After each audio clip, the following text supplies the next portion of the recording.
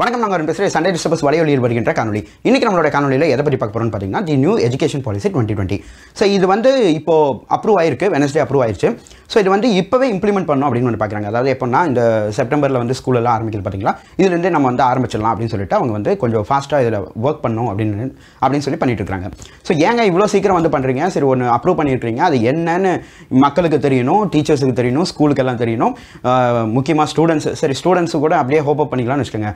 முக்கியமாக இந்த இன்ஸ்டியூட்ஸ்க்கெல்லாம் தெரியணும் இல்லையா ஸோ அதுக்குள்ளே அவங்க ப்ரிப்பேர் ஆகிறக்குள்ள நீங்கள் ஏங்க இப்படியெல்லாம் பண்ணுறீங்க அப்படின்னு சொல்லி கேட்டால் இல்லை இல்லை இது ரொம்ப முக்கியம் அப்படின்னு சொல்லி வைக்கிறாங்க. ஸோ இது ரொம்ப முக்கியமாக அப்படின்னு சொல்லி நீங்கள் கேட்டிங்கன்னா கண்டிப்பாக ரொம்ப ரொம்ப முக்கியங்க. ஏன்னா ஆயிரத்தி தொள்ளாயிரத்தி எண்பத்தி ஆறில் நியூ எஜுகேஷன் சிஸ்டம் அப்டேட் பண்ணாங்க. அதுக்கப்புறம் முப்பத்தி நாலு வருஷங்கள் கழிச்சு இப்போ தான் அப்டேட் பண்ணியிருக்காங்க இதுக்கு இந்த இடைப்பட்ட முப்பது வருஷங்களாக நீங்கள் வந்து பார்த்தீங்கன்னா யாராவது கிட்ட கேட்டிங்கன்னா எப்போ எஜுகேஷன் சிஸ்டமில் மாற்றம் வேணுமா? அப்படின்னு கேட்டிங்கன்னா கண்டிப்பாக வேண்டும் அப்படின்னு சொல்லுவாங்க. ஆனால் என்ன மாற்றம் வேணும் அப்படிங்கிறது வந்து கேட்டிங்கன்னா ஒரு சிலர் வந்து சொல்லுவாங்க நான் வந்து தமிழ்நாட்டில் இருக்கேன். நான் வந்து தமிழ் ஹிஸ்ட்ரியை பற்றி படிக்கணும். ராஜராஜ சோழனை பற்றி ஏன் எனக்கு வந்து கிட்டத்தட்ட ஒரு நான்கு வரிகள் இல்லைன்னா ஒரு எட்டு வரிகளுக்குள்ளே அவருடைய வரலாறை அடக்கிடுறாங்க ஹிஸ்ட்ரி புக்கில் அதை விட்டுட்டு ஆனால் நார்த் இந்தியன் ஹிஸ்ட்ரி வந்து நான் கொஞ்சம் அதிகமாகவே படிக்கிற மாதிரி எனக்கு தோணுது அப்படின்லாம் சொல்கிறாங்க பார்த்தீங்களா ஸோ இவங்களுக்கெல்லாம் வந்து எஜுகேஷன் சிஸ்டமில் கொஞ்சம் மாற்றங்கள் வேண்டும் அப்படின்னு சொன்னாங்க. சரி இப்போ அந்த மாதிரி ஏதாவது மாற்றங்கள் வந்திருக்கு அப்படின்னு கேட்டிங்கன்னா அந்த மாதிரி மாற்றங்கள் எதுவுமே கிடையாது. அதாவது சிலபஸ் ஓரியன்டாக எந்த மாற்றங்களும் கிடையாது.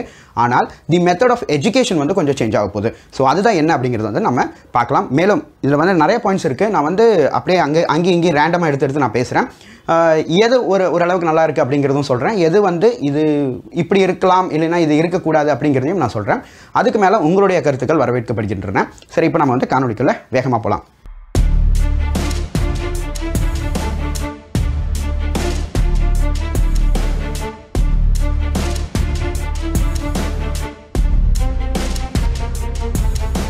முதல்ல வந்து இந்த எம்ஃபில் அப்படிங்கிறத வந்து அந்த தூக்கிடுறாங்க. இது ஏன் தூக்குறாங்க அப்படின்னு வந்து பார்த்தீங்கன்னா மாஸ்டர்ஸ் பண்ணுவாங்க அதுக்கப்புறம் எம்ஃபில் பண்ணுவாங்க அதுக்கப்புறம் பிஹெச்டி பண்ணுவாங்க. இந்த எம்ஃபில் அப்படிங்கிறது வந்து ஒரு ரிசர்ச் கோர்ஸ் மாதிரி அவங்க அந்த டைம் ப்ராஜெக்ட்லாம் பண்ணுவாங்க. ஸோ இப்போ அவங்க வந்து ஒரு ஒரு ஒரு டேட்டா ஒன்று ஸ்டடி பண்ணியிருக்காங்க என்னென்னு பார்த்தீங்கன்னா மாஸ்டர்ஸ்லேருந்து எம்ஃபில் பண்ணிவிட்டு எம்ஃபில்லேருந்து பிஹெச்டி எத்தனை பேர் பண்ணியிருக்காங்க அப்படின்னு வந்து பார்க்குறாங்க நிறைய பேர் பண்ணலை.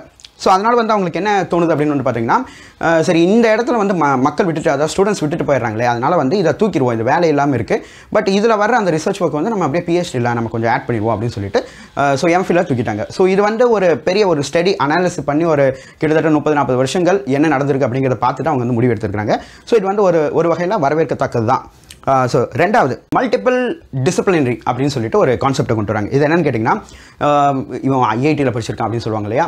ஸோ இப்போ ஐஐடியில் நீங்கள் படிச்சிருந்தாலும் அங்கே வந்து இந்த மல்டிபிள் டிசிப்ளினரியில் கொண்டு வராங்க. என்னென்னா உனக்கு ஒரு பெரிய டேம் கட்ட தெரியும் அப்படின்னா உனக்கு அது மட்டும் தெரிஞ்சிருக்கக்கூடாது இந்த டேம் கட்டுறதுனால அங்கே என்விரான்மெண்டல் எஃபெக்ட் என்ன ஆகும்? சோஷியல் இம்பேக்ட் என்னவாக இருக்கும்? அப்படிங்கிறதெல்லாம் உனக்கு அந்த அறிவெல்லாம் உனக்கு வேணும். ஸோ அதை சார்ந்தும் நீ படிக்க வேண்டும் அப்படின்னு சொல்லிட்டு ஒரு கான்செப்டை உள்ளே கொண்டு வராங்க. இவங்க வந்து சேர்த்து தராங்க. ஸோ அதுவும் வந்து வரவேற்கத்தக்கது தான். சும்மா எனக்கு கன்ஸ்ட்ரக்ஷன் மட்டும் தான் எனக்கு தெரியும் அப்படின்னு சொல்லியே போகாமல் அது ரிலேட்டடாக என்விரான்மெண்டல் ஒர்க்கும் வந்து அவங்களுக்கு வந்து இப்போ சொல்லித்தரப்படுகிறது. இது மட்டும் இது நான் ஒரு எக்ஸாம்பிளுக்கு தான் சொன்னேன். இந்த மாதிரி பல விஷயங்கள் இருக்குது ஸோ இதெல்லாம் வந்து வரவேற்கத்தக்கது தான். அடுத்தது வந்து பார்த்தீங்கன்னா five plus three plus three plus four அதாவது முதல்ல அஞ்சாவது வரைக்கும். அதுக்கப்புறம் வந்து பார்த்தீங்கன்னா எட்டாவது வரைக்கும். அதுக்கப்புறம் ஒன்பதாவதுலேருந்து பன்னிரெண்டாவது வரைக்கும் அதுக்கப்புறம் காலேஜ் ஸோ இந்த கான்செப்ட்டில் இவங்க வந்து மெத்தடாலஜி கொண்டு வராங்க. இப்போ வந்து நம்ம என்ன ஃபாலோ பண்ணிருக்கோம் ஒன்றாவதுலேருந்து பத்தாவது. பத்தாவது அதுக்கப்புறம் பதினொன்றாவது பன்னெண்டாவது அதுக்கப்புறம் காலேஜ் ஸோ அதை வந்து கொஞ்சம் இன்னும் கொஞ்சம் ஸ்ட்ரீம் லைன் பிரேக் பண்ணுறாங்க ஸோ இந்த பிரேக் வந்து ஸ்டூடெண்ட்ஸ்க்கு வந்து எப்படி இருக்கும் அப்படின்னு சொல்லி ஒரு என்ன சொல்கிறது ஒரு ஒரு ஒரு விஷயத்த நம்மளால் வந்து தெளிவாக சொல்ல முடியாது. ஸ்டூடெண்ட்ஸ் இதை எப்படி பார்க்க போகிறாங்க அப்படிங்கிறது. காரணம் என்னென்னு கேட்டிங்கன்னா அவங்களுக்கு ஆல்ரெடி வருஷத்தில் மூணு எக்ஸாம் இருக்குது பட் இப்போ ரெண்டு வருஷம் ரெண்டு எக்ஸாம் தான் கொண்டு வர போகிறோம் அப்படிங்கிறாங்க. ஸோ அது எப்படி அவங்களுக்குள்ள ஏன்னா எக்ஸாம் டென்ஷன்லாம் அவங்களுக்கு குறைக்கணும் அப்படிங்கிறாங்க. பட் அதே சமயத்தில் அஞ்சாவதுலேயே அவனுக்கு வந்து ஒரு பேரியர் வைக்கிறீங்களே அப்படிங்கிற ஒரு கேள்வியும் எழுகிறது. சரி அஞ்சாவதுலேயே ஏன் இந்த பேரியர் இல்லைனா எட்டாவதுல ஏன் இந்த பேரியர் அப்படின்னு வந்து கேட்டிங்கன்னா இப்போ எட்டாவது படிச்சுட்டு வெளியே வர்றவங்க கிட்ட வந்து ஒரு ஒரு ஒரு பத்து லைன் ஆஃப் திங்ஸ் uh, நீங்கள் ஆங்கிலத்திலையோ இல்லை தமிழ்லையோ எழுத சொன்னீங்கன்னா உங்களுடைய எழுத்து பிழை எழுத்து பிழைகள் இல்லாமலையோ அல்லது அந்த இலக்கண வடிவத்தில் இல்லாமலோ அவங்களுக்கு வந்து எழுத தெரிய மாட்டேங்குது ஸோ இந்த மாதிரி நிறைய ஸ்டூடெண்ட்ஸ் இருக்கிறாங்க. அவங்களோட கரியரை பார்க்கணும். அவங்களுக்கும் வந்து ஒரு நல்ல கல்வியை கொடுக்கணும் அப்படின்னு சொல்லிட்டு இந்த பிரேக்கப் ஸ்டேஜை கொண்டு வராங்க. ஸோ இதனால வந்து கண்டிப்பாக அவங்களுக்கு வந்து ஒரு நல்ல எஜுகேஷன் போயிடும் அப்படின்னு ஒன்று சொல்கிறாங்க பட் இது வந்து எனக்கு என்னமோ சரியில்லை அப்படின்னு தோணுது. காரணம் என்னென்னா மேபி மாற்று இருக்கலாம். இருந்தால் நீங்கள் கமெண்ட் செக்ஷனில் போடுங்க நம்ம பேசலாம். இப்போ வந்து ஒரு கிளாஸில் வந்து ஒரு ஐம்பது பேர் இருக்காங்க. ஐம்பது பேரில் வந்து ஒரு முப்பது பேருக்கு வெளியே வந்து பார்க்கும்பொழுது அவனுக்கு வந்து எழுத தெரியல. சரிங்களா? அப்போது இந்த முப்பது பேருக்கும் எழுத தெரியல அப்படின்னா அங்கே வந்து மாணவர்களுடைய தவறா இல்லை அங்கே பயிற்றுவிக்கும் ஆசிரியர்களுடைய தவறா? அதுதான் நீங்கள் இங்கே பார்க்கணும். ஏன் அவன் அந்த அந்த ஸ்கூலில் படிச்சுட்டு வர்றவன் வந்து இன்னும் அவன் வந்து எனேபிள் ஆக மாட்டேறான் அப்படின்னா ஏன் ஆசிரியர்களை நீங்கள் வேல்யூவேட் பண்ண மாட்டேறீங்க ஸ்டூடெண்ட்ஸே வேல்யூவேட் ஏன் பண்ணுறீங்க அப்படிங்கிற ஒரு மிகப்பெரிய ஒரு கேள்வி வரும். இந்த கேள்விக்கு வந்து நிறைய ஆசிரியர்களும் இந்த காணொலியை நீங்கள் பார்த்துட்டு இருப்பீங்க. உங்களுக்கு கொஞ்சம் கோபம் வரலாம். பட் இந்த கேள்வி நியாயமா இல்லையான்னு மட்டும் நீங்கள் கொஞ்சம் யோசிச்சு பாருங்க. ஏன் ஆசிரியர்கள் மீது இந்த கேள்விகள் வைக்கப்படுக மாட்டேங்குது? இது பெற்றவங்களாக இருந்தாலும் சரி மற்ற வே- உற்ற உற்றார் உறவினர் எல்லாருமே வந்து அந்த மாணவர்கள் மீதையே நீங்கள் வந்து பார்க்குறீங்க இன்னும் பேங்க் கிட்ட போனோம்னா ஒரு பிங்க் கலர் ஸ்லிப் எடுத்துட்டோம்னா யாராவது பிங்க் கலர் வச்சு எழுதிட்டு இருக்கிறாங்களான்னு தேடுவான் முதல்ல. ஏன்னா அவன் என்ன ஃபில் பண்ணுறானோ அதே மாதிரி இவனும் ஃபில் பண்ணும் அப்படின்னு சொல்லிட்டு. பேசிக் காமன் அந்த நாலேஜ் இருக்குது காமன் சென்ஸ் இருக்குது என்னென்ன இப்போ பண்ணணும் அங்கே நேம் இருக்குது கேபிட்டல் லெட்டரில் தான் எழுதணும் அப்படிங்கிறது இருக்குது பட் இருந்தாலும் எங்கேயாவது பார்த்தா எழுதணும் அப்படிங்கிற அந்த கான்செப்ட் ம மக்களுடைய மனசில் மென்டாலிட்டியில் அது அப்படியே தான் இருக்குது பட் இதையெல்லாம் கடந்து வரணும் அப்படின்னு வந்து பார்த்தீங்கன்னா ஸோ இங்கே டீச்சர்ஸோட பங்களிப்பும் கொஞ்சம் அதிகமாக தேவைப்படுகிறது அப்படிங்கிறது தான் நான் இங்கே முதன்மையாக வைக்க வேண்டும் அப்படின்னு சொல்லி பார்க்குறேன். அதுக்கப்புறம் வந்து என்ன சொன்னாங்கன்னா லிட்ரஸி ரேட்டை வந்து இன்னும் கொஞ்சம் அதிகம் பண்ணணும் அப்படிங்கிற இப்போ வந்து எண்பத்தி நாலு சதவீதம் ஒட்டுமொத்த இந்தியாவிலே இருக்குது அதாவது எழுபத்தி நாலுலேருந்து எண்பத்தி நாலு சதவீதம் லிட்ரஸி ரேட்டும் வந்து அதிகமாகிடுச்சு அப்படிங்கிறாங்க. ஸோ இந்த லிட்ரஸி ரேட்டும் வந்து கல்வி அறிவை வச்சு பார்க்குறாங்களா அப்படின்னு வந்து பார்த்தீங்கன்னா இல்லை வயசு வச்சு தான். அதாவது பதினஞ்சு வயசுக்கு உ- உட்பட்டது எத்தனை பேர் படிச்சிருக்காங்க பதினஞ்சு வயசுக்கு மேலே எத்தனை பேர் படிச்சிருக்காங்க எட்டு வயசுக்குள்ளே எத்தனை பேர் படிச்சிருக்காங்க இதெல்லாம் வச்சு தான் வந்து அந்த லிட்ரஸி ரேட்டும் வந்து கால்குலேட் பண்ணுறாங்க ஓவர் ஓவரால் வேர்ல்ட்லேயே அப்படி தான் பண்ணுறாங்க ஸோ யார் யார் ஹையர் எஜுகேஷன் பண்ணியிருக்காங்க அப்படின்லாம் இல்லை. எத்தனை வயசுக்கு மேலே படிச்சிருக்காங்க அப்படிங்கிறத பற்றி தான் அவங்க வந்து மென்ஷன் பண்ணுறாங்க ஸோ எகைன் இந்த லிட்ரஸி ரேட்டுக்கும் இங்கேயும் வந்து கொஞ்சம் கான்ட்ராடிக்டடாக இருக்குது ஏன்னா மேட்ச் ஆக மாட்டேது எதுவும். சரி ஓகே அடுத்து வந்து என்னென்னு கேட்டிங்கன்னா இந்த ஃபாரின் ஃபாரின் இன்ஸ்டியூட் எல்லாம் கொஞ்சம் வந்து செட்டப் பண்ண போகிறாங்க நம்ம இந்தியாவில் ஸோ இதனால் வந்து பார்த்திங்கன்னா ஒரு உயர்தரமான கல்வி நம்மளுக்கு கிடைக்கும். ஸோ அதே நேரத்தில் இவ்வளோ சேஞ்சஸ் நீங்கள் கொண்டு வரீங்க நம்மளுடைய ஸ்கூல்ஸ் அண்ட் காலேஜஸ் இதுக்கெல்லாம் நீங்கள் என்ன பண்ண போகிறீங்க அப்படிங்கிற ஒரு கேள்வி எழுகிறது. அதுக்கு என்ன என்ன பண்ண போகிறாங்க இன்ஃப்ராஸ்ட்ரக்சர் லைக் அவங்க வந்து லாஸ்ட் டைமே வந்து இது ஒரு ஒரு பாயிண்ட் வச்சுருந்தாங்க. என்னென்னா ஸ்கூல்ஸ் ஸ்கூல்ஸ் எல்லாம் வந்து கிளஸ்டராக ஜாயின் ஆயிரும். அதாவது ஒரு அஞ்சாறு ஸ்கூல் வந்து கிளஸ்டராக இருக்கும் ஸோ அவங்க கிட்ட லேப் வசதி இருக்குது இவங்க கிட்ட ஸ்போர்ட்ஸ் வசதி இருக்குது அப்படின்னா இவங்கெல்லாம் வந்து அவங்களுடைய ஸ்டூடெண்ட்ஸ்குள்ளே ஷேர் பண்ணிக்கோங்க அப்படிங்கிறாங்க. இது வந்து ஆக்சுவலாக வரவேற்கத்தக்கது தான். என்னென்னு கேட்டிங்கன்னா ஒவ்வொரு நூக் அண்ட் கார்னர்ஸ் போய் நம்மளுடைய ஸ்கூல்ஸை வந்து டெவலப் பண்ணுறதுக்கு இன்னும் பல வருஷங்கள் ஆகும். ஸோ பட் இந்த மாதிரி கிளஸ்டராக ஜாயின் பண்ணி அவங்களுடைய ரிசோர்ஸும் மற்ற ஸ்டூடெண்ட்ஸ் கூட ஷேர் பண்ணும்போது இது வந்து ஒரு நல்ல விஷயமாக தான் நம்ம வந்து கருதணும். ஸோ பட் இது எந்த அளவுக்கு சாத்தியம் அப்படிங்கிறது வந்து தெரியல. ஏன்னா ஒரு அன்பர் வந்து சொல்லியிருந்தாரு. அவர் வந்து பிளைண்ட் ஸ்டூடெண்ட்டு அவங்களுக்கு வந்து ஒரு கிட்டத்தட்ட ஒரு நாலு ஸ்டூடெண்ட்ஸ்க்கோ ஏழு ஸ்டூடெண்ட்ஸ்க்கோ ஒரு டீச்சர் வேணுமா? பட் கிட்டத்தட்ட ஒரு முப்பத்தஞ்சு பிளைண்ட் ஸ்டூடெண்ட்ஸ் இருக்கிறாங்க. அவங்களுக்கு டீச் பண்ணுற ஒரு ஸ்டூடெண்ட் டீச்சர் வந்து ஒருத்தங்க தான் ஒருத்தங்க தான். ஸோ அப்போ இந்த ஆவரேஜோட கிளாஷே வந்து இங்கே வந்து கொஞ்சம் மாறுபடுது. ஸோ இதுக்கெல்லாம் வந்து இதெல்லாம் ஓவர் கம் பண்ணோம் அப்படின்னா இந்த மாதிரி கிளஸ்டர்ஸ் கைண்ட் ஆஃப் ஒர்க் நம்ம கண்டிப்பாக பண்ணி ஆகணும் ஸோ அது வந்து வரவேற்கத்தக்கது தான் ப்ளஸ் இந்த ஃபாரின் ஃபாரின் யூனிவர்சிட்டிஸ் உள்ளே வர்றதும் ஓரளவுக்கு ஓகே தான். பட் ஃபாரினில் இருக்கிறவங்களையே நீங்கள் இம்போர்ட் பண்ணாமல் நம்மளுடைய கல்வி தரத்தையும் கொஞ்சம் உயர்த்தினால் இன்னும் நன்றாக இருக்கும் அப்படிங்கிறது தான் தாழ்மையான கருத்தாக இருக்கிறது. இந்த யூஜி படிக்கிறாங்க இல்லையா? இந்த இடத்துல வந்து மல்டிபிள் எக்ஸிட் மல்டிபிள் என்ட்ரி இதுதான் வந்து ஒரு அறவைக்கான ஒரு சிஸ்டமோ அப்படின்னு சொல்லி எனக்கு தோணுது. Maybe I may be wrong but என்னென்னா தப்பாக எடுத்துக்காதீங்க. அது வந்து ஒன்றும் இல்லை. வெந்து வேகாதது அப்படிங்கிறது தான் அறவைக்காடுன்னு சொல்லுவாங்க. ஸோ அது கெட்ட வார்த்தையில இல்லை. இது வந்து என்னென்னா ஒரு ஒருத்தன் வந்து இப்போ நம்ம காலேஜ் வந்து மூணு வருஷமோ நாலு வருஷமோ இல்லை அஞ்சு வருஷமோ படிக்கிறோம். பட் இது எப்படி இருக்குன்னா நீங்கள் வந்து ஒரு வருஷம் படிச்சுக்கலாம். அதுக்கப்புறம் ப்ளஸ் ஒரு ஒகேஷனல் கோர்ஸ் எடுத்துகிட்டு நீங்கள் போயிடலாம்.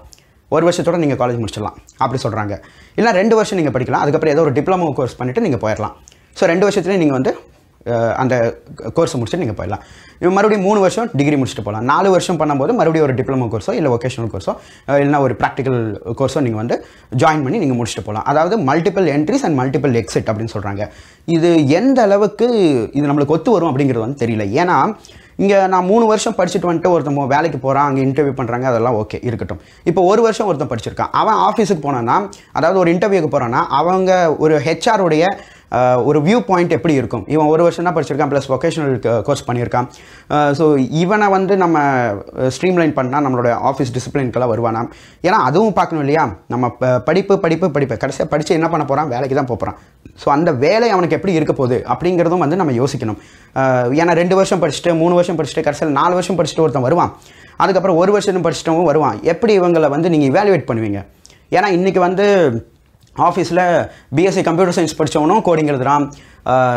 பிஎஸ்சி ஐடி படித்தவனும் கோடிங் பண்ணுறான் எம்சிஏ படித்தவனும் அந்த கோடிங் பண்ணுறான் so there is no graduations lifting year நிறைய பேர் ஒத்துப்பீங்க. ஏன்னா உங்களுடைய ஆஃபீஸ்லேயே வந்து உங்களோட கொலிகோட கிராஜுவேஷன்ஸ் டிஃப்ரென்ஸாக இருக்கும். பட் நீங்கள் எல்லாரும் வந்து ஒரே ப்ராஜெக்ட்டில் ஒர்க் பண்ணிட்டு இருப்பீங்க. ஸோ அந்த இடத்துல நாலேஜ் வந்து ஒரே லெவலாக இருக்குது but how you evaluate here அப்படிங்கிற ஒரு மிகப்பெரிய ஒரு கேள்வி வருது. அதுக்கப்புறம் இன்டர்நேஷனல் ஸ்டூடெண்ட் ஆஃபீஸ் நிறையா இந்தியாவில் செட் பண்ண போகிறாங்க அதாவது என்னென்னா ஃபாரின்லேருந்தும் ஸ்டூடெண்ட்ஸை வந்து இன்வைட் பண்ணுறதுக்காக அட்ராக்ட் பண்ணுறதுக்காக நிறையா ஆஃபீஸஸ் வந்து இவங்க இன்ஸ்டால் பண்ண போகிறாங்க ஸோ அதுவும் வந்து வரவேற்கத்தக்கது தான் ஏன் நம்ம மட்டும் போய் அமெரிக்காவில் போலாண்டில் இல்லைன்னா ரஷ்யால எல்லாம் போய் ஜெர்மனிலலாம் போய் படிச்சுட்டு இருக்கணும்? அங்கே இருக்கிற ஸ்டூடெண்ட்ஸும் இங்கே வரட்டும் இங்கே படிக்கட்டும். அப்படின்னா தான் நம்ம இன்னும் கொஞ்சம் தரத்தில் கொஞ்சம் அதிகமாக இம்பார்ட்டன்ஸ் காட்டி கொஞ்சம் உயர்த்துவோம். ஸோ அப்படியும் வந்து அது அப்படி பண்ணும்போது என்னென்னா வேர்ல்டு லெவலில் வந்து இந்தியன் எஜுகேஷனுக்கு ஒரு வேல்யூவும் வரும். ஸோ அதனால அதுவும் வந்து வெல்கமபிள் பாயிண்ட் தான். அடுத்தது வந்து ஒகேஷ்னல் இங்கே தாங்க பிரச்சனையே வருது. என்ன சொல்கிறாங்கன்னா ஒரு குலத்தொழிலை ஆதரிக்கிற ஆதரிக்கிறது அப்படின்னு சொல்லியெல்லாம் ஒரு கருத்துக்களை இல்லைன்னா ஒரு குற்றச்சாட்டை முன்வைக்கிறார்கள். இந்த ஒகேஷனல் கோர்சஸ் அப்படின்னா என்னென்னா தொழில் சார்ந்த படிப்பு இல்லைன்னா அதை சார்ந்த ப்ராக்டிக்கல் விஷயங்கள்லாம். ஸோ இப்போ ஒகேஷனல் இருக்குது அப்படின்னு கேட்டிங்கன்னா கண்டிப்பாக இருக்குது பல ஸ்கூலில் ஒகேஷனல் குரூப்ஸ் இருக்குது பட் இந்த புதுசாக வந்த பாலிசியில் என்ன பண்ணுறாங்கன்னு பார்த்தீங்கன்னா இந்த ஒகேஷனல் குரூப்புக்கு அதிக இம்பார்ட்டன்ஸ் தராங்க. எப்படின்னா அதை வந்து ப்ரைமரி சோர்ஸாக எடுக்கிறாங்க. இப்போ நிறைய பேருக்கு வந்து நான் படிச்சுட்டே இருக்கிறதுக்கு எனக்கு இன்ட்ரெஸ்ட் இல்லை அப்படின்னு நினச்சாங்கன்னா அவங்க வந்து ஒகேஷனலாக நீங்கள் சூஸ் பண்ணி அதாவது தொழிற்கல்விகளை நீங்கள் கற்றுக்கலாம் அப்படின்னு சொல்கிறாங்க அப்போது இந்த இடத்துல நீங்கள் வந்து ஒரு ஒரு ஸ்டூடெண்ட்ஸை வந்து நிப்பாட்ட போகிறீங்களா படிப்பை அப்படின்னு சொல்லிட்டு ஒரு மிகப்பெரிய ஒரு கேள்விக்குறி வருது. ஏன்னா எங்கள் வீட்டு பக்கத்துலலாம் சொல்லுவாங்க கையில் காசு பார்த்தா இவன் படிக்க மாட்டான் அப்படின்னு சொல்லுவாங்க. ஏன்னா சின்ன வயசில் ஸ்கூல் லீவ்ல எல்லாம் ஏதாவது வேலைக்கு போகலாமா அப்படின்னு பார்த்தா விட மாட்டாங்க. ஏன்னா காசை பார்த்துட்டானா படிக்க மாட்டான் அப்படிம்பாங்க. ஸோ அப்போ இந்த தொழிற்கல்வி எந்த அளவுக்கு இருக்கும் அப்படிங்கிறது வந்து தெரியல. பட் ஆனால் தொழிற்கல்வி கண்டிப்பாக தேவை. அதுவும் இந்த மாதிரி ஒரு காலகட்டத்தில். நம்ம வந்து நைன்டீன் செவன்ட்டீஸ் நைன்டீன் சிக்ஸ்டீஸ் அந்த விஷயத்துக்கெல்லாம் நம்ம போகவே வேண்டாம். பட் இந்த காலகட்டத்தில் தொழிற்கல்வி என்பது மிக மிக முக்கியம். இப்போ சிலர் கே கேள்வி வரலாம் இவன் என்ன தப்புன்னு சொல்கிறானா வேண்டாம்னு சொல்கிறானா அப்படின்னு வந்து கேட்கலாம். பட் uh, இந்த இடத்துல தொழிற்கல்வி வேண்டும் என்று தான் நான் கூறுவேன். ஆனால் அது எப்படி இருக்க வேண்டும்னா ஒரு வேல்யூ ஆடட் சர்வீஸாக தான் இருக்கணும். நான் வந்து இதை படிச்சுட்டு இருக்கிறேன்னா படிச்சுட்டு இருக்கிறேன். பட் ப்ளஸ் எனக்கு எனக்கு ஒரு இன்ட்ரெஸ்ட் இருக்கும். நான் ஆர்ட்டில் இருக்குது இல்லைன்னா ஒரு ஹோட்டல் மேனேஜ்மெண்ட்டில் இருக்குது இல்லைனா ஒரு கேட்ரிங்கில் இருக்குது ஃபேஷன் டிசைனிங் இருக்குது அப்படின்னா அது ஒரு வேல்யூ ஆடட் சர்வீஸாக அவன் வந்து பிக் பண்ணுற மாதிரி ஒகேஷனல் குரூப் இருந்ததுன்னா இன்னும் அது ஒரு ஒரு எஃபிஷியண்ட்டாக இருக்கும். அதை விட்டுட்டு நீ மற்றெல்லாம் படிக்காத நேராவா ஃபேஷன் டிசைனிங்கே பண்ண அப்படின்னு வந்து சொல்கிறது வந்து எந்த வகையில் இது வந்து பேலன்சிங்காக இருக்கும் அப்படிங்கிறது தெரியல. ஸோ அதுதான் நான் வந்து சொல்லணும்னு நினச்சேன். ஸோ ஒகேஷனல் கோர்சஸ் வேணும் பட் இது ஒரு வேல்யூ ஆடட் கோர்சஸாக இருந்ததுன்னா இன்னும் நன்றாக இருக்கும் அப்படிங்கிறது தான் என்னுடைய தாழ்மையான கருத்து. அதுக்கப்புறம் வந்து சான்ஸ்கிரிட் என்னடா சமஸ்கிருதம் இங்கே வருதுன்னு பார்க்குறீங்களா இதில் வந்து ஒரு சின்ன ஒரு கான்செப்ட் வச்சுருக்காங்க. என்னென்னா மூணு லாங்குவேஜ் நீங்கள் சூஸ் பண்ணிக்கலாம். ஒன்று வந்து உங்களுடைய home language home town language local லாங்குவேஜ்னு சொல்லுவாங்க. இல்லை மதர் டங்னு சொல்லுவாங்க. அடுத்தது வந்து நேஷனல் லாங்குவேஜ் ஒன்று அதுக்கப்புறம் வந்து இன்டர்நேஷனல் லாங்குவேஜ் ஒன்று இது மூணு சப்ஜெக்ட் இந்த லாங்குவேஜ்லேயே வந்து இந்த மூணு நீங்கள் வந்து சூஸ் பண்ணி ஆகணும். பட் இது வந்து ஸ்டேட் கவர்மெண்ட்கிட்டே அவங்க விட்டுட்டாங்க. Let state government take call அப்படின்னு சொல்லிட்டாங்க. ஸோ அதாவது எந்தெந்த சப்ஜெக்ட் இருக்கும் அப்படிங்கிறது வந்து ஸ்டேட் கவர்மெண்ட் வந்து டிசைட் பண்ணிக்கலாம்.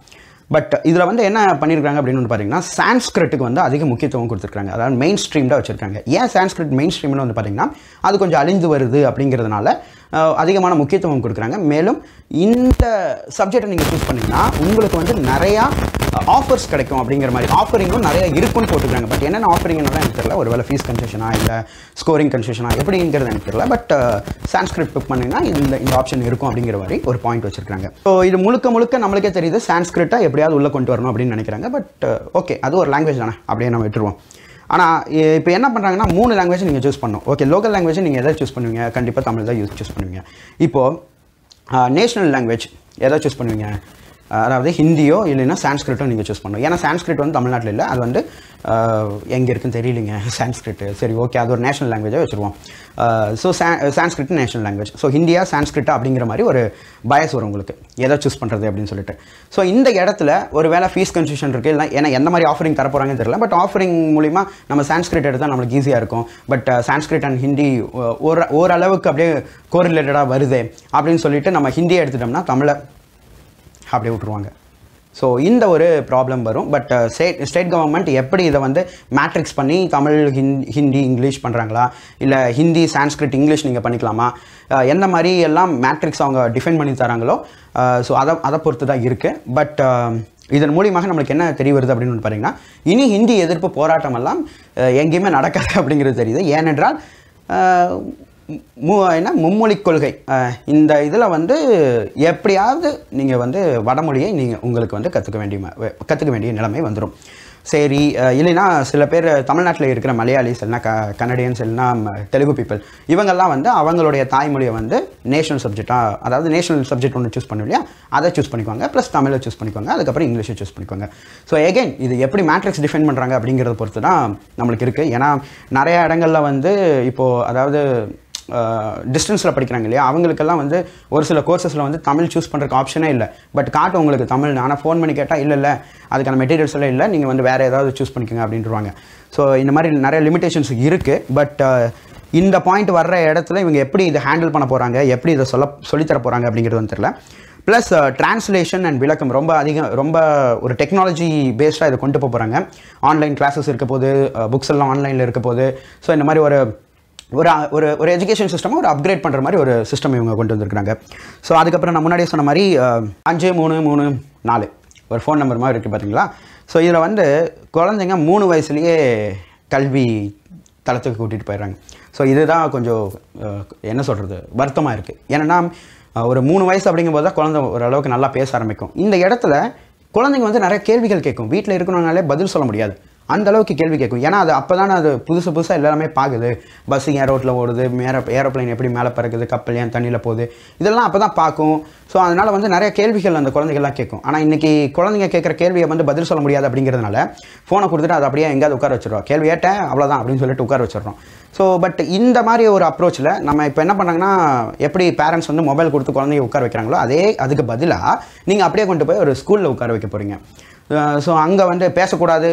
சத்தம் போடக்கூடாது அப்படிங்கிற ஒரு அகட்டு முறை அங்கே இருக்கும். கண்டிப்பாக இருக்கும். குழந்தைங்கன்னா சத்தம் போட தான் செய்யும்.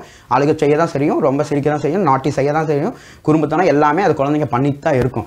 பட் இது இதையெல்லாம் வந்து அவங்க கண்ட்ரோல் பண்ணும் பொழுது அந்த அந்த குழந்தைக்கு வந்து அந்த இடத்துலையே வந்து ஒரு ஒரு ரிசர்வ்டு கேரக்டராக மாறி மாறுறதுக்கான வாய்ப்புகள் அதிகமாக இருக்குது பட் ஸ்டில் இது நிறைய பேர் டாக்டர்ஸ் இல்லைனா அந்த சைக்காட்டிஸ்ட் இவங்கெல்லாம் தான் வந்து இதை பற்றி கமெண்ட்ஸ் பண்ண முடியும். ஏன்னா நம்ம அதை பற்றி படிக்கலை. ஸோ அதனால் வந்து நம்ம அதை பற்றி எதுவும் கமெ கமெண்ட் பண்ண முடியாது. இ கண்டென்ட் வந்து எட்டு லாங்குவேஜில் அவைலபிள் ஆகும் அப்படின்னு சொல்லியிருக்கிறாங்க. Apart from English and Hindi English and ஹிந்தியை விட்டுட்டு எட்டு ரீஜனல் லாங்குவேஜில் வந்து இ கண்டென்ட் அதாவது வெப்சைட்டில் இருக்கிற கோர்சஸ் எல்லாமே வந்து அவைலபிளாக இருக்குன்னு சொல்கிறாங்க பட் அந்த எட்டு முக்கியமான ரீ ரீஜனல் லாங்குவேஜ் என்னென்னு தெரில பட் தமிழ் அதில் கண்டிப்பாக இருக்கும்னு நம்ம ஒரு நம்பிக்கை வைப்போம். அதுக்கப்புறம் coding coding from sixth standard இது வந்து ஒரு வெல்கம் பண்ணலாம். பட் இது வெல்கம் எப்படி பண்ணுறது அப்படின்னு எனக்கு தெரியல. அதாவது கம்ப்யூட்டர் நாலேஜை கொடுக்கறது வந்து வேறு கோடிங் நாலேஜ் கொடுக்கறது வந்து வேறு. ஸோ கம்ப்யூட்டர் நாலேஜ் வந்து இன்றைக்கி எல்லாருக்குமே தேவை. மொபைல் ஆப்ரேட் பண்ணுறதுலேருந்து சிஸ்டம் ஆப்ரேட் பண்ணுறதுலேருந்து எல்லாருக்குமே வந்து கம்ப்யூட்டர் நாலேஜ் நம்மளுக்கு தேவை. கம்ப்யூட்டர் ஆப்ரேட்டிங் நாலேஜ் தேவை. ஸோ அந்த மாதிரி நாலேஜ் தந்தாங்கன்னா ஓகே பட் இன்றைக்கி இருக்கிற குழந்தைங்க அவங்களே ஃபோனை ஓப்பன் பண்ணி எல்லாமே பண்ணிக்கிறாங்க. Uh, பட் கோடிங் ஆறாவதுலேருந்தே கோடிங் தேவையா அப்படிங்கிற ஒரு மிகப்பெரிய ஒரு கேள்வி வருது. Of course this world is converting is digital ஒரு விர்ச்சுவல் வேர்ல்டு தான் இன்றைக்கி ஃபுல்லாக மாறிடுச்சு. ஸோ இந்த இடத்துல வந்து நீங்கள் பார்க்க போனீங்கன்னா uh, கோடிங் அப்படிங்கிறது வந்து ஒரு முக்கிய முக்கியமான தளம் ஏன்னா ஆண்ட்ராய்டாக இருக்கட்டும் இல்லைனா ஐஓஸாக uh, இருக்கட்டும் எல்லாமே வந்து இன்றைக்கி ஃபுல்லாக சாஃப்ட்வேர் தான் ரூல் பண்ணிகிட்டு இருக்கு ஸோ பெரிய ஒரு பெரிய ஸ்கோப் இருக்குது பட் அதே சமயம் வந்து இது ஒரு சர்வீஸ் செக்டராகவே போயிருமே அப்படிங்கிற ஒரு கேள்வியும் வருது.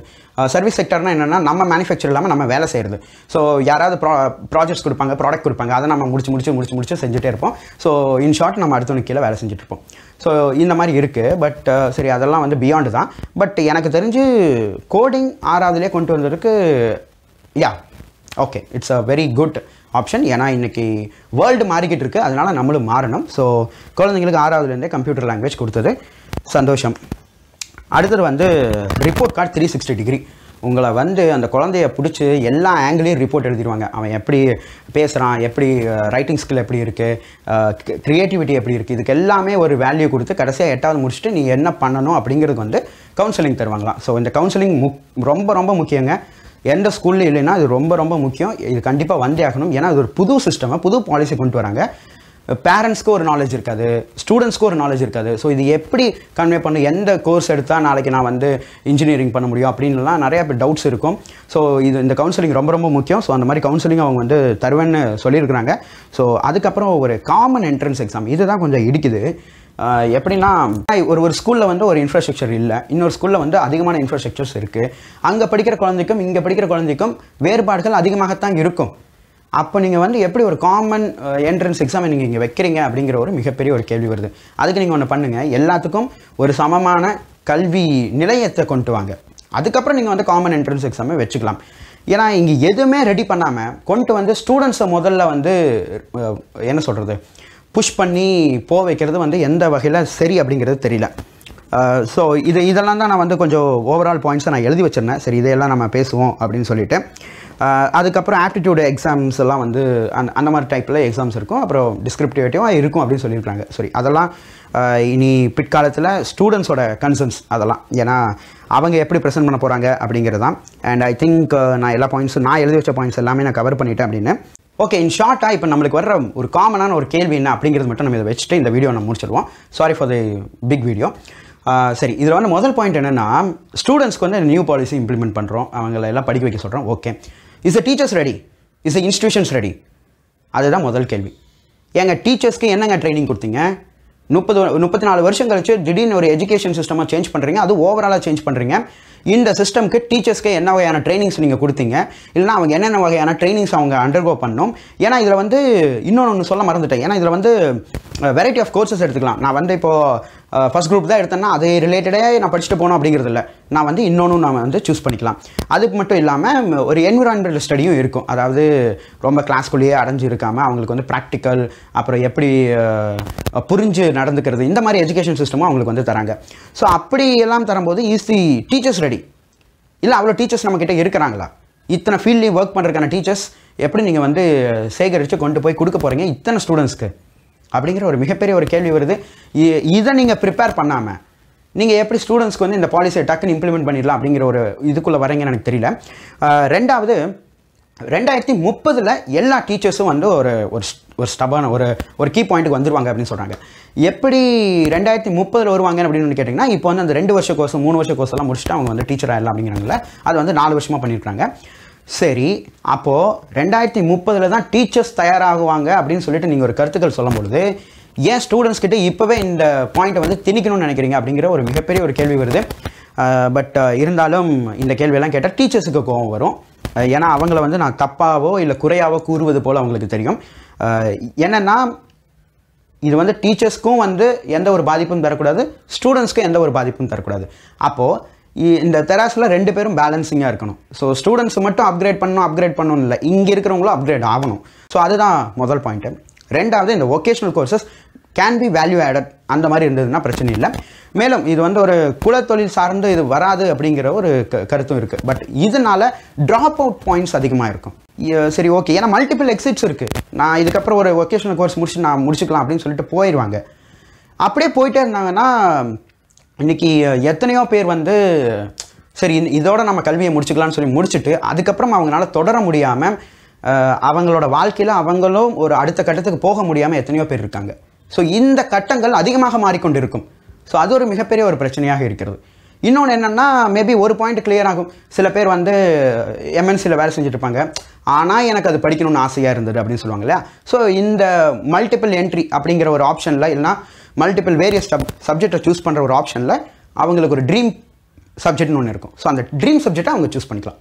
ஸோ அந்த மாதிரி இனி எவனும் வந்து இந்த மாதிரிலாம் சொல்ல முடியாது. நான் படிக்கும்போது எனக்கு ஹிஸ்ட்ரி படிக்கணும்னு ஆசையாக இருந்தது. கேட்ரிங் படிக்கணும்னு ஆசையாக இருந்தது அப்படின்லாம் பட் எகைன் அந்த மேட்ரிக்ஸ் எப்படி அவங்க டிஃபைன் பண்ணுறாங்க அப்படிங்கிறது ஒன்று இருக்குது பட் ஸ்டில் uh, அது ஒரு பாயிண்ட் இருக்குது ஒரு கிளஸ்டர் மாதிரி ஸ்கூல்ஸ் எல்லாம் ஒர்க் பண்ணுறது அது வந்து வரவேற்கத்தக்கது. அது ரொம்ப ரொம்ப முக்கியம் நம்மளுக்கும். ப்ளஸ் எந்தெந்த ஸ்கூல்ஸ் எப்படி எப்படியெல்லாம் இதில் வந்து செயல்பட போகுது அப்படிங்கிறது வந்து தெரியல. ஏன்னா இங்கே வந்து ஒரு காமன் என்ட்ரன்ஸ் எக்ஸாம் வைக்கும் பொழுது இங்கே எல்லா institution plus schools and colleges எல்லாமே வந்து காமனாக இருக்க வேண்டிய ஒரு சூழ்நிலை இருக்கிறது. ஸோ அதுக்கு அவங்க எப்படி ஏன்னா கல்வி தரம் வந்து எல்லா பக்கமும் காமனாக இருக்கணும் இல்லையா?